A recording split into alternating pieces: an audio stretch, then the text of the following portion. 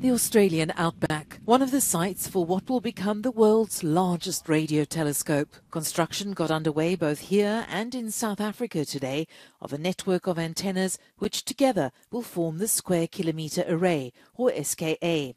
The giant cross-continental telescope is expected to produce scientific results that will change our understanding of the universe. The organisation is headquartered in the United Kingdom and has 14 members. After construction completion, the two complementary telescopes will be the ears on either side of the planet, allowing us to listen to those murmurings from the deep universe which uh, are driving such excitement in both uh, science and deeper our understanding of the universe in which we live and the origins of life.